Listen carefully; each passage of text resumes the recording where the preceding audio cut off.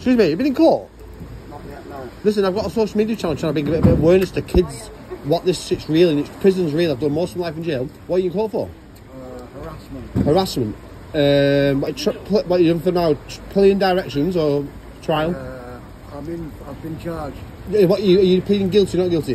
I'm pleading not guilty. Not guilty. So they'll set a trial date for next year. Yeah. Where are you from? I'm from uh, Bolton. Shout out Bolton. Good looking court, right, kid, eh? Sweet, brother.